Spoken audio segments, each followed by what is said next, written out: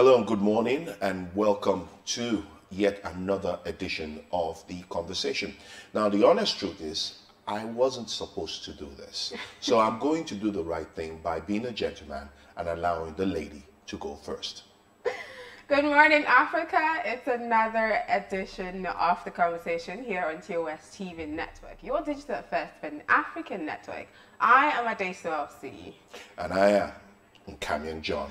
Thanks for joining us this morning. And without wasting much time, um, Adeswa, lead us into uh, developments in Africa. Okay, so the first one, ah, it's about Nigerian soldiers killed while um, pursuing jihadists. So four soldiers were killed on Monday in Niger and eight others seriously injured after an explosion at an artisanal mine in the southeastern part of the country near the border with Nigeria. According to Niger's Minister of Defense, the soldiers were pursuing jihadists who had attacked Chetima Wango military post in the southeastern region of Diffa on Sunday. At least eight soldiers were killed when the post was targeted on 7th March last year in 2019. An attack in the same locality killed seven Nigerian soldiers. That's quite sad for our soldiers. They're actually Nigerian, not Nigerians. Oh, pardon me. Niger, not, not, not, oh, oh. That oh, uh, people oh, make that oh, mistake. it's oh, common, um, not just in Africa, but even in the world. When they Yeah. see Niger, the, for people who are very familiar with Nigeria, the first thing that comes, oh, it must be Nigeria. Nigeria. Even So I thought it was uh, it's Nigeria. Nigerian, Did you speak French? a little. Oh, okay.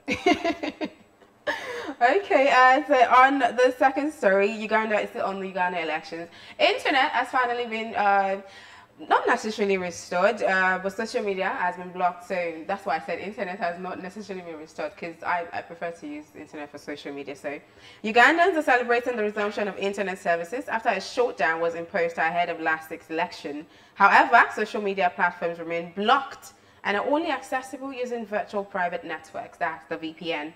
President Yoweri Museveni, who won an unprecedented sixth term in office, had accused the platforms of being biased. Bobby Wine, presidential candidate for the opposition National Unity Platform, alleged the poll was marred by fraud. The party's spokesperson, Joel Senyonyi, accused Mr. Museveni of shutting down the internet to prevent them from sharing evidence of fraud. He said that the party was in the process of co- collecting election results forms that have evidence of irregularities. I think Bobby, Bobby Wine is not going to back down on this one.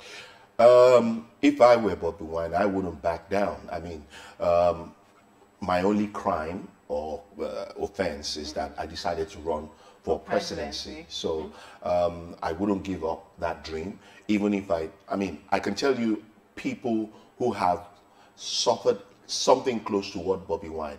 George Oppong Weah, the current president Yes. of Liberia, Yes. he lost several attempts at being president, President. but he, he remained persistent and consistent. Uh, let's not forget, if you go to the Western Hemisphere, uh, it's a it's uh, one that any historical history student knows. Abraham Lincoln. Yes. You know, so if you have a vision, you believe in in that vision, and you're driven by that vision.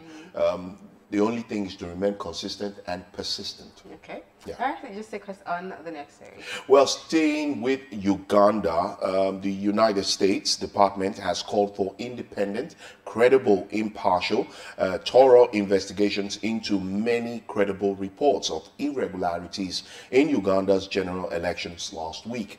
Now, long-term leader Yoweri Museveni was re-elected, uh, re-elected for a sixth term amid accusations of uh, vote fraud by his main rival, Bobby Wine. The president said the poll could be the most cheating free in the history of African na- of, the African nation. In a statement, the U.S. State Department said those found culpable of election ir- irregularities should be accountable.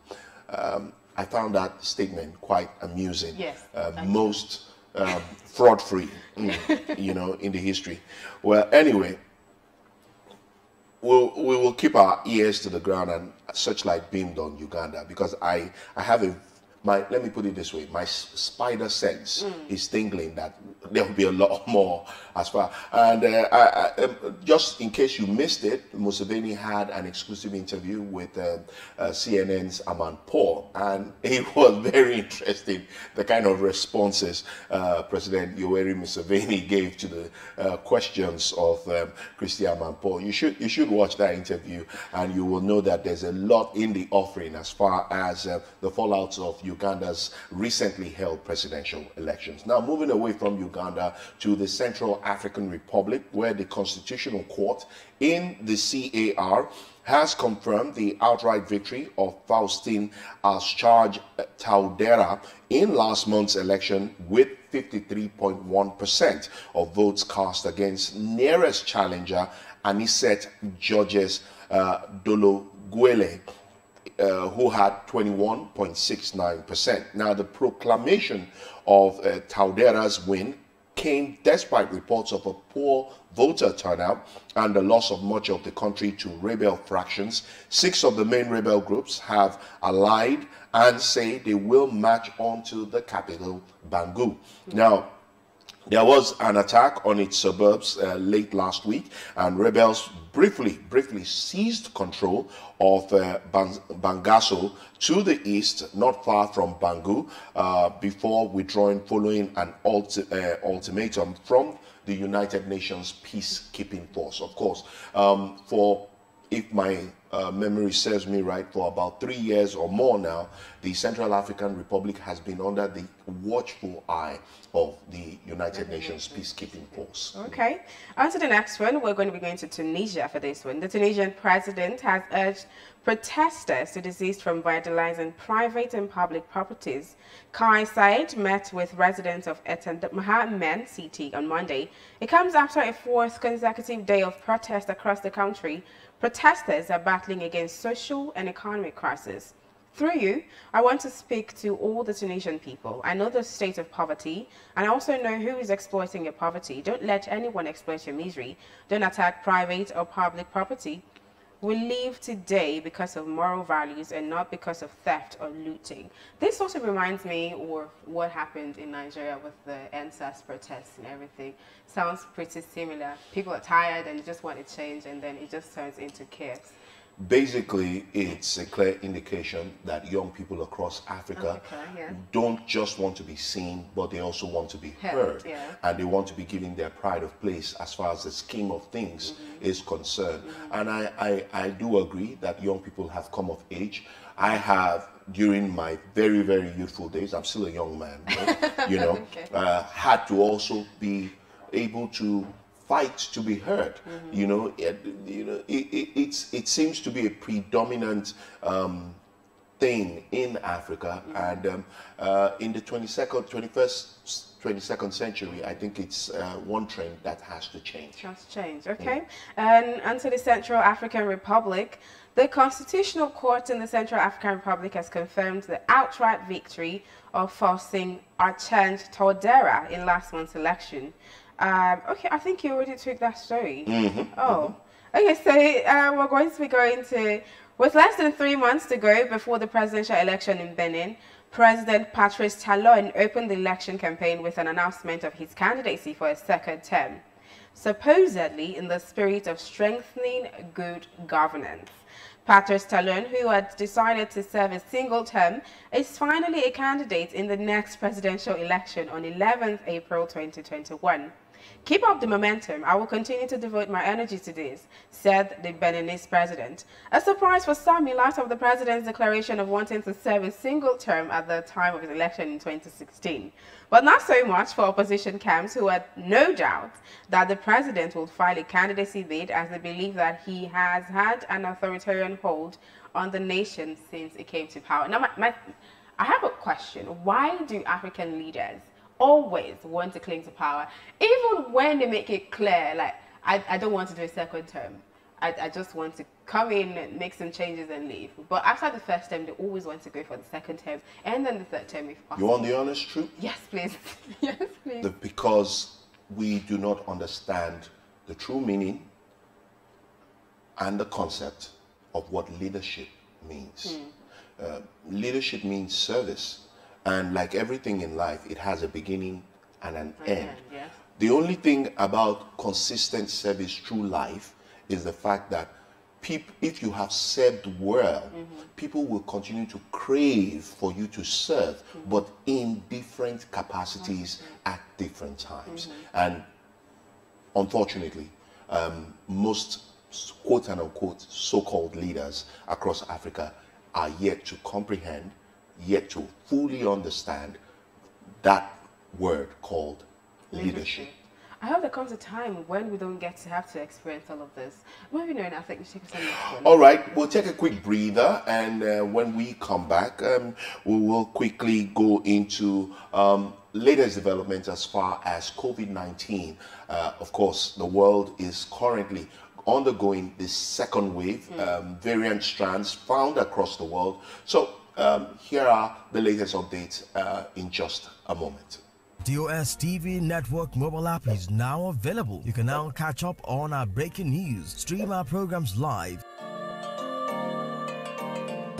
Watch out for the latest update on sports and politics as they unfold. You can also get notifications for our upcoming programs and events. All these on our TOS TV Network mobile app, available on Apple Store and Google Play Store. TOS TV News from Africa by Africans. Being a journalist means in depth analysis that unravels hidden truths, that question the status quo, and fact checks government.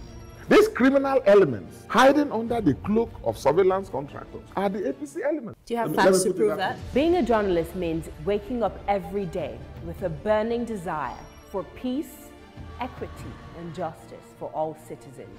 We're being told that the choice you have is to take the lesser of two evils. It means patriotism via the prism of objectivity and accountability.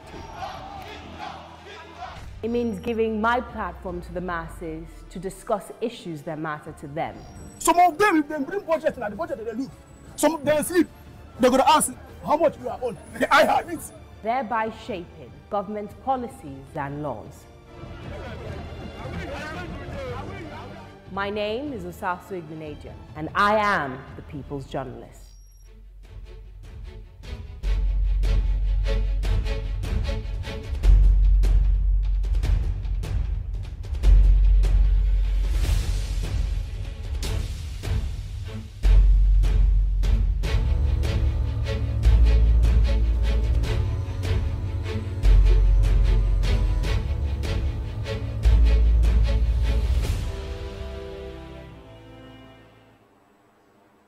Welcome back. If you're just joining, it's still the conversation on TOS TV network, and that was um, a COVID 19 update. Moving on, we're going to be moving straight into the newspaper headlines for the morning, starting with the Nigerian Tribune. Um, the first headline is on COVID 19. It says Lagos oxygen demand rises to 350 cylinders per day. And under that, as Sanwo-Olu says, 24,000 students yet to report in public schools. Edo deploys 200 policemen to enforce use of face masks. Kano directs civil servants to stay at home, imposes fresh ban on event centers. Nigeria has capacity to store 400,000 doses of Pfizer vaccines, uh, says the federal government. And to the right on that, we have gunmen ab- abduct Don, kill son in Zaria. Under that, Oyo to pay Osun 8 billion naira for Lautech asset sharing. And the Senate won't fight Buhari to please anyone, says um, Lawan. And then to the Anambra polls, Anambra government poll holds November 6th. And another um, very glaring headlines there say seven day ultimatum. Continue your dialogue with Fulani communities. Presidency tells Akeredolu says you are at least expected to unilaterally oust thousands of heathers. No going back. Legal users to forest must re- register with government, says the Ondo State government. Akeredolu acted responsibly. Afenifere is saying that. give ultimatum to herders to leave forest reserves in Yoruba land, YCE tells Southwest governments. And under that, armed robbery in Oyo declined by 48% in 2020. And then on top of that, to the left, we have Pope appoints Kukah as member dicastery for the promotion of human integral development. In the middle, we have three dead, five vehicles burnt as tanker explodes in Abeokuta. Government bans tankers, articulated vehicles from plying Ogun bridges. I think that's a step in the right direction, if you ask me. Mm, mm. Very, very interesting uh, developments on uh, the front page of the Tribune. Yes. Uh, I'm, I, I'm, I'm going to take you on uh, the Daily Independent. That's a um, quite interesting front page as far as the Daily Independent is concerned. I'm starting with at the top of the Daily Independent with this um, um, headline Nigeria's cashew industry loses 40 billion naira to COVID 19. Nigeria cashew industry loses 40 billion naira to uh, COVID 19. Uh, this is just one of several developments or fallouts as a result of um, the co- coronavirus pandemic that has ravaged the world since. Um, 20, 2020. 2020 Yeah. you know, and um, the economies are seriously battered. Uh, just yes, yesterday, I came across a story where the president of Tanzania is telling farmers to step up. That this just might be an opportunity for African farmers to be able to feed the world Yes. because as a result of COVID 19. Now, still staying with developments on the Daily Independent, uh, you have this um, second headline also at the top of the Daily Independent Presidency to Akeredolu, you can't order herders to vacate Ondo Forest. Presidency to Akeredolu, you can't order herders to vacate Ondo Forest. And then um, let's look at um, the in front of on the front page of the Daily Independent is the picture of the um, uh, carnage. Uh, let me use that word as a result of the um tanker that exploded Right, yes. on Kuto Bridge in Abeokuta, uh, Ogun State, Southwest Nigeria. Now, in in, in uh, if my calculations are right, in the last three to four months, there is there has hardly been a month that we haven't witnessed uh, uh, uh, tankers laden with PMS, that's uh, premium motor spirit petrol, um, exploding or you know Just falling. you know, uh, Mhm. yeah, and um, in this case, I understand as of yesterday when the report broke out that one life was lost, but I can tell you um, the damage that has been done is in tunes of millions as a result of uh, that tanker explosion. Well, still on the front page of the Daily Independent, you have the gaping headline Foreign bandits invading Nigeria, hacking havoc in Oyo. Uh, that's that's one, and that it has been a reoccurring uh, report in the last couple of days, especially uh, from uh, the uh, leader of the Amotekun. Amotekun. Yeah, because. Um, they have had several encounters uh, with some of these bandits, and they claim um, some of them speak French. So the ten, the, the assumption would be that some of them Definitely aren't Nigerians. All right, more headlines on the front page of the Daily Independent. Uh, at the bottom of the uh, photograph of the explosion, you have COVID 19. Nigeria to receive 100,000 doses of vaccines in two weeks. 100,000 of uh, doses of vaccines in two weeks. Um, well, um, I have my, I have my. I was wondering why you didn't want to say that, okay. I have my thoughts, you know, about that. Well, still looking at other developments on the front page of the Daily Independent, you have GSM operators collect 47.8 million national ID numbers ahead of NOC deadline. That is uh, uh, ahead of NCC uh, deadline. And then federal government raises 2.36 trillion naira from capital markets in 2020. And finally, three die, six burnt in Ogun tanker explosion. I did You say did as of say that, yesterday, yes. yeah, it, they said one, but now details have emerged that three people died, six burnt in Ogun tanker explosion. Very unfortunate Very, incident very and very, very avoidable. Yes, totally avoidable. Moving on to the Daily Sun. Ah, the very, very glaring headline on that one is still on the COVID-19. It says COVID-19 vaccines meant to kill us. Co- Kogi State Governor is the one saying that. Federal government considers vaccine outside Pfizer, BioNTech, laments high storage cost. And another headline says, Why we open schools despite coronavirus spike.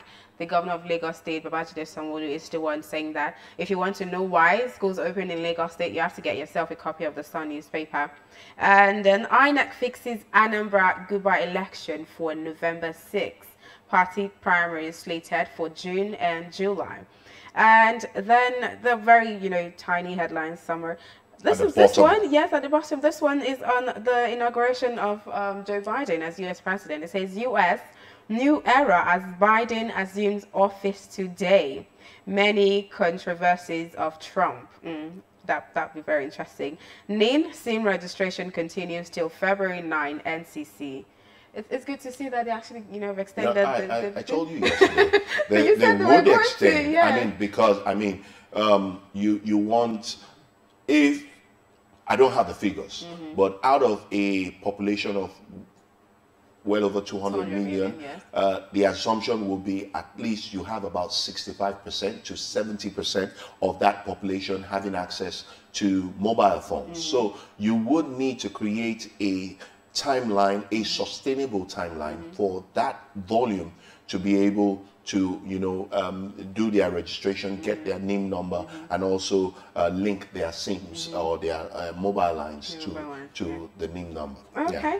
Um, and the last headline for- on the Daily Sun says Pope Francis appoints Kukah advisor on human development. That is quite interesting. I think yesterday when you when you gave us this as breaking news, I was kind of that happened, but yeah, it's, it's actually interesting to see that. that But happened. it's very good, and it's coming at a time that uh, Matthew Cook, uh, Bishop Matthew Kukah, who is the current uh, bishop for the Sokoto Sokoto, diocese, um, has been in the news. Um, we, you know, we belong to the controversial, Controversial, the waiting for you controversial club. so we we are always in the news, highly misunderstood, highly misrepresented. But um, congratulations, Bishop Kukah. Uh, it means the world recognizes your contributions to humanity. All right. Um, just before we leave the newspaper review, just to give you uh, the front page of what's happening on the Daily Trust. A big gaping headline as far as the Daily Trust is concerned. And of course, um, across Nigeria today, on all the national dailies, you will find a picture of the tanker explosion on Kuto Bridge in Abeokuta, southwest Nigeria. Uh, it's also evident on the Daily Trust. But this gaping headline 12.3 million subscribers await SIM linkage with NIN. Interesting. And of course, we just told you that um, uh, the registration deadline has been extended to February 9th. Ninth, yes. Yeah. All right. Under that headline, two riders um, as 4, 4.78 million phone users cleared. Uh, FG urged to limit mobile lines possession to two. oh. Now, uh, where are the lawyers in the house? Uh, Can they do that, I mean, uh, should the government have the prerogative to decide how many phone lines you actually have? Mm-hmm. You know, well, uh, I want to see what the, how the lawyers react to this. And then um, Akeredolu quits order to herdsmen inflammatory. That's from the presidency. That's at the top left side of the Daily Trust. And uh, U.S. U.S. Everything you need to know about Biden's inauguration today, hmm. right there on the Daily Trust. And then finally, 18th Daily Trust Dialogue holds tomorrow. That's an interesting event. Hmm. And and just before I leave the Daily Trust, at the bottom, traders count losses after Sokoto market inferno. Unfortunate incident hmm. uh, right there from with the Sokoto inferno. So I would urge you uh, to get a copy of any of these dailies if you're interested in getting the details of any of the headlines we have given you this morning on the conversation. Up next is our big story.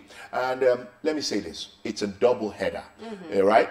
Today, we have a new man sitting in the, they call it the castle, actually, but, you know, popularly known as, or let me put it this way, AKA the White The House. White House. Yes.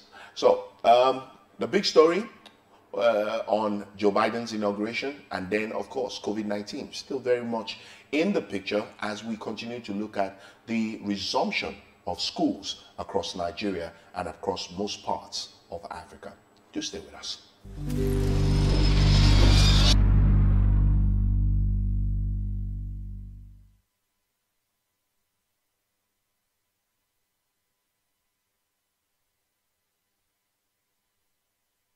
An election the world looks forward to. The United States of America election. An election that stirred lots of controversies. Amidst the controversies, Donald Trump joined a select group of presidents who served only one presidential term in office. He became the 45th president of the United States of America in 2016 when he defeated Hillary Clinton to succeed Barack Obama but his hopes of another four years in power have been dashed by Democratic candidate Joe Biden and running mate Kamala Harris. Joe Biden and Kamala Harris are being sworn in today, 20th January 2021. It is well known that former President Trump's administration paid little or no attention to Nigeria and Africa at large.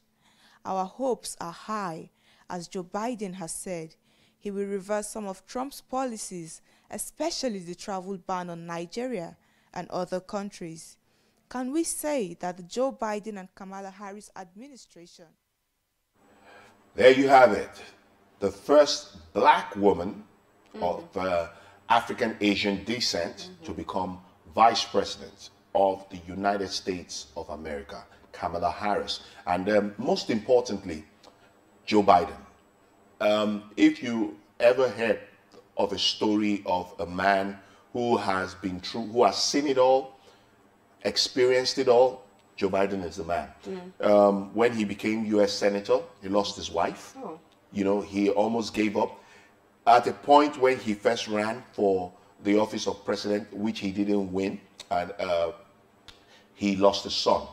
You know, every time I look at Joe Biden, I see a man who, um, let me put it this way, um, his struggle is his story, and his story is his superpower. And quite relatable to, to Very lots of- lots of relatable. So right now, the world, the big question is, what will Joe Biden do to heal the world after four years of Mm. Donald Trump? I think I think a lot a lot of Africans are more interested in what his tenure or what Joe Biden being president is going to do for Africa and what's going to spell for Africa. Because quite a lot of Africans actually have um, high expectations for Joe Biden because you know Trump wasn't you know so, so much you know he didn't so much tilt to um, favor Africa, especially in terms of foreign policy and stuff like that. And a lot of people are expecting Joe Biden to to, be, to do it differently. But I personally think that you know Joe Biden will be different from Trump as Obama was different from um, George Bush. But I don't think in terms of foreign policy he's going to do so much. He's going to do. There's going to be any change, especially when I think we're forgetting that America is a little bit troubled and unstable at this point, and it's going to require much of his attention. So Africa might be on also pilots as, as it is. Well, Africa needs to take its own destiny into its own hands, um, but I can guarantee that America Africa relations will slightly be enhanced under Joe Biden. Don't forget, um, Joe Biden, before being inaugurated into office, has a number of Africans and African Americans in his cabinet, and I'm proud to say about four or five Nigerians are part of that list. Uh, so it gives you an idea that um, Joe Biden does have a heart for Africa. Some people would say because he was vice president to Barack Obama, Yeah. who is uh, African American, of course, it's it's well known. He's half Kenyan, you know, and all of that. And because of the Obama influence, there is a likelihood that Joe Biden will give some attention uh, to, Africa. Africa. Okay. But I did tell you that it was uh, uh, it's going to be a double header big story on this edition of the conversation, and the fact that we will continue to look at um, um, the resumption of schools under the second wave of COVID-19. So, without much ado, let's get some reactions of Nigerians uh, as school resumed Monday uh, across Nigeria, and uh, of course, parents are varied of parents. There are the parents who still haven't released their children to go back to school because of the fear of COVID 19.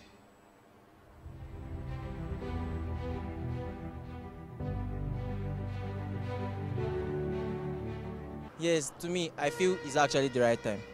Because, like me now, I'm in my final year. I meant to have graduated since last year. But because of this corona, just lockdown everywhere. So now that schools has resumed, and if they'll be able to follow government's precaution, I think it's actually the right time for them to open. Okay, um, considering um, um, the, the current um, situation which we find ourselves, I as a person is 75% sure that our schools are not ready for resumptions. Uh, for me, I think uh, government has made the biggest mistake because uh, if you if you watch the news, you see that the case continue increasing every time, every day by day. So I think they should have waited a little until we have uh, reduced in cases before schools will resume. Other countries, why this lockdown of COVID have been on, there have been e-learning, online learning, and so on, and that cannot actually make this, the, the school activities to be stagnant. But considering this country we are now, all these things are not being provided. So if schools continue to be under lock and key, you know that education in this country will definitely suffer. Make sure that everybody is ready. For example, in my school, Fontage International School, we had to um, send every teacher, every staff of the school for the COVID test. And everybody who turned out negative was certified fit to resume duties. And we've not had any positive case yet. But even if we do, we'll find a way to isolate them and get them treated before they join the workforce. And we gave the same directives to our parents and the children, and they are all complying. At this point, children's education should be top priority. Extending resumption is not going to send COVID away. It's only going to make things worse. Mm. That's my candid opinion. So, um, so far, uh, since the beginning of the COVID-19 uh, pandemic, has any of your students or teachers actually tested positive? And none that I know of. Of course, there may be cases of, uh, of people who have tested positive. We can't rule that out because it's a large community. But anybody who we know has a positive result, we have placed policies in place that um, we will use. Immediately, they'll have to be quarantined, they'll have to receive treatment, and they'll have to test negative before they resume. We've, there has been no reported case for now, and we hope it continues that way. Mm. But we cannot rule out the fact that um, COVID-19 is the reality, is the norm, is the norm of this millennium, and we have to live with it. Even with the second wave of the virus. All right, for those of you who probably be wondering, where's Stephanie Odia? That was Stephanie.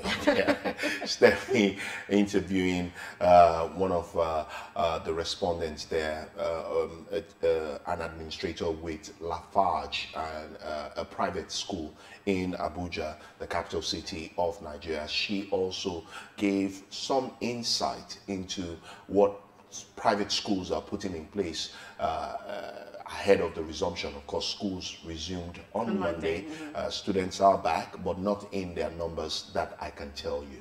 So, um, if you were a parent and um, it hit you, I, I, I know that I know that expression, right? now, and they say, "Hey, school is resuming on Monday." Uh, what would be the first thing that would come to your head?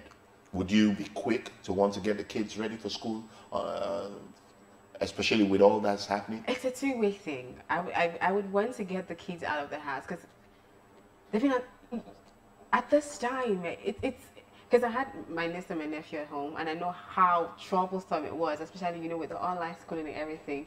I would want to get them to school, but then again, there's the fear of you know Their are safety. they safe and stuff like that. So I have to try to find a balance, you know, between those two.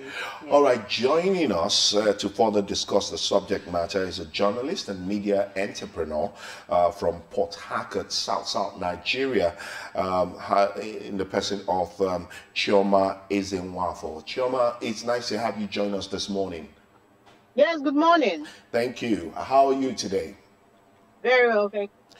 All right, Chioma, let's let's get into it. Uh, do you think the government's decision to go ahead with school resumption amidst the second wave of COVID-19 uh, is the right thing to do at this time? Um, we- we've been following the COVID 19 situation for a while now, and with the knowledge I've come to have of it, I would say it was a good move.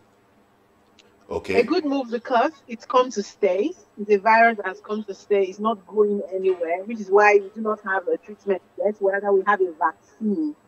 And while we're working to get the vaccine out, locking down or shutting down or shutting down the economy generally is not going to solve the problem. It's not the strategy for a pandemic of this nature.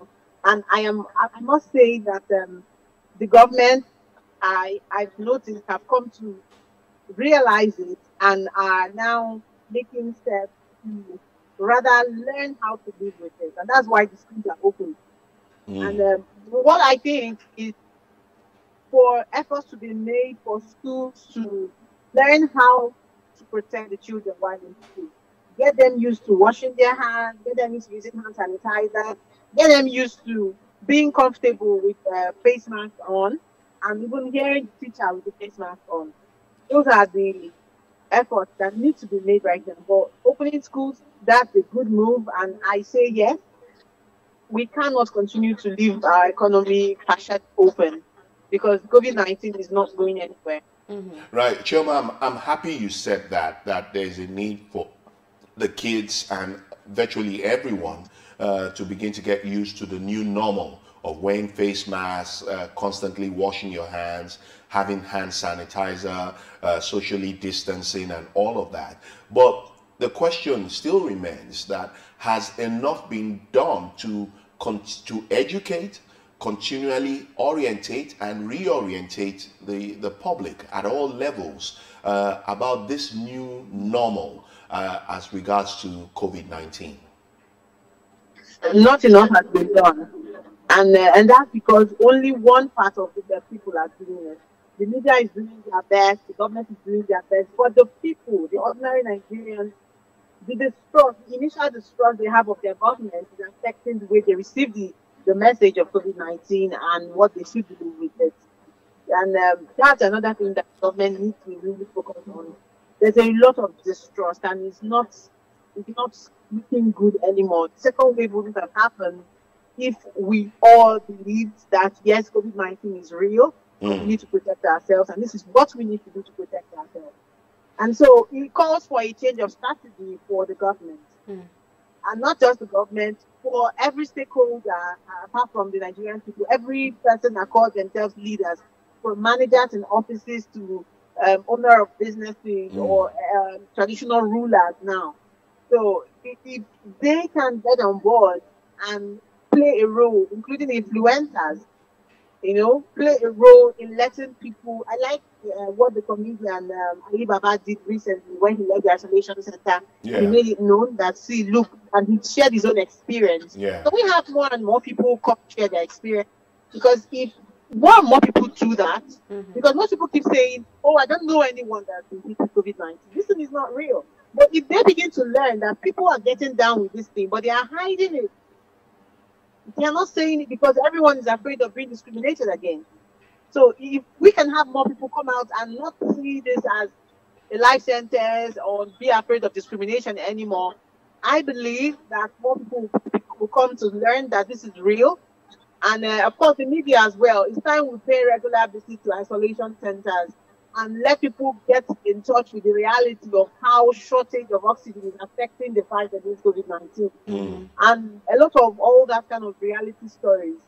We need some help, but the strategy should focus on getting people to believe that this thing is in Nigeria because a lot of our population do not.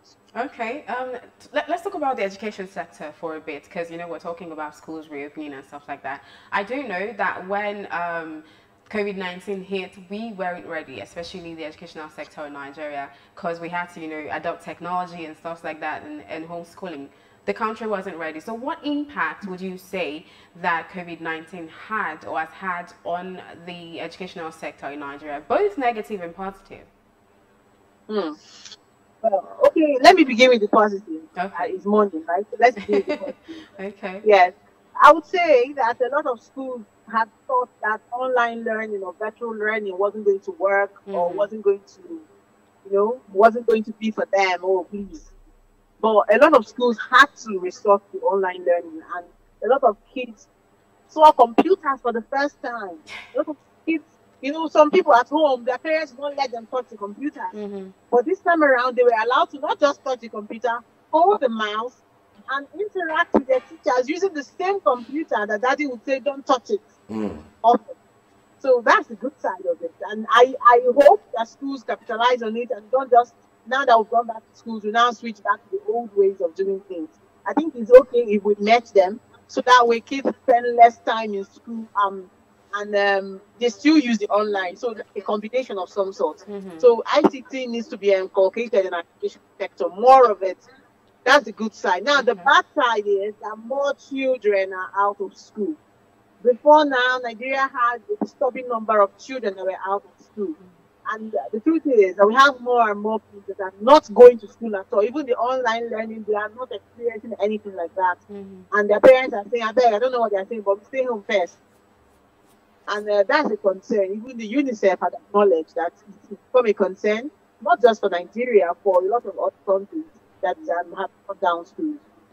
Okay, so what do you think, before we let you go, what do you think can be done about the number of out of school children that we have in Nigeria? Because you spoke about more, more children being out of school. In in one minute, what do you think can be done about that? Yes, I think uh, I think this is a time that we need to be innovative. We need to um, think outside the box, and one of them is that um, education should go beyond the classroom. Okay uh, non-governmental organizations and even CSR of companies should begin to take different shapes, including teaching children that are not able to go to school. Mm. And I, I think that can help. Thank you so much, Chioma, for making out time to be with us. We really appreciate your contribution. And um, uh, we hope that next time when we call on you, you will oblige us with your presence. Uh, sure. Thank you for having me. Thank you. Have a great day. You too. All right, we've been talking with um, uh, a, a, a, journalist and media entrepreneur um, all the way from Port Harcourt, River State, South South Nigeria, in the person of Chioma Ezenwafo. Uh, of course, um, uh, her contributions very apt as to uh, giving you a quick, uh, slight insight into what the future mm -hmm. might look as far as um, uh, education, particularly for our children, uh, would look like. Mm -hmm. mm. All right, it's still the conversation. We'll take a quick break, and when we come back, as usual, at this one, we'll be taking us through what's trending.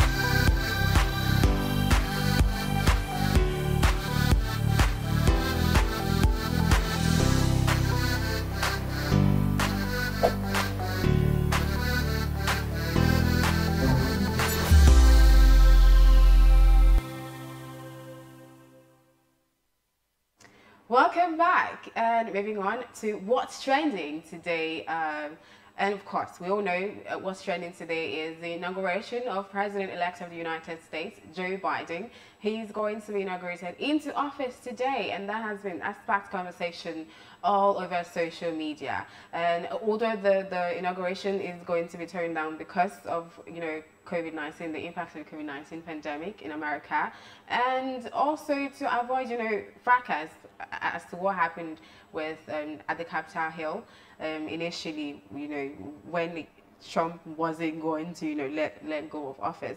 And quite a number of tweets uh, here, quite a number of interesting tweets. I'm going to take the first one from Mandy, one six thirty. He says, tomorrow we will have President Joe Biden and Vice President Kamala Harris. And I might be crying in my bed with a migraine. I'm just so excited. That's interesting. And then um, Bapruga 77 says, I see Joe Biden is capable of producing Obama. Tears on cue. And then under that, um, MMA Padalan re replied saying Obama is the best president. Joe Biden will be our next best president. Quite a huge faith they have in, in Joe Biden. And this guy, man like Icy, says, why do I feel Joe Biden's administration will favor Africans? And then he got a response saying, by the time the boys have finished their breakfast tomorrow morning, Joe Biden will be president. I'm rather looking forward to the occasion and his first 100 days, and then the rest of his term. Um, a lot of people have quite a number of expectation for Joe Biden being president. And what do you think his first day in office would look like? Um, if I know Joe Biden very well, he's going to hit the ground running. Right. He has already done that. Mm -hmm. uh, so his first day in office is, you know, trying to refamiliarize himself with the White House, mm -hmm. uh, see whatever changes Donald Trump has made, whether it's it will work for him or not, and then you know, of course, um, uh, sit down with Camilla and say, hey, look, I'll handle this, you do this, and um, um, give themselves timelines and deadlines. That's what I think will happen. No time to breathe. No, no. Uh, he, he, I mean, uh, Joe knows that there's so much to do. Mm -hmm. America right now is going through um, probably it's one of the worst periods it has ever had in history. Mm-hmm. and there is need for uh, both he and Camilla to hit the ground running. Okay. Yeah. And uh, uh, and pretty interesting things all over social media as far as uh, the inauguration is concerned. Nigerians have Asho Ibio Aso Ebi yes that video is out there. You can check it out on our website www.tostvnetwork.com you get to watch the the video. And even the video of the explosion if you haven't seen it. It's on our website. So um, we'd like to as always to say hey become part of the family by joining our online community by simply liking and following TOS TV network on all our social media handles Facebook Instagram and Twitter. And of course like and follow our uh, YouTube channel as well. Don't forget www.tostvnetwork.com so that's the show this morning. I am Nkamin John. And I am Adesua Osui. Thank you for watching. See you tomorrow.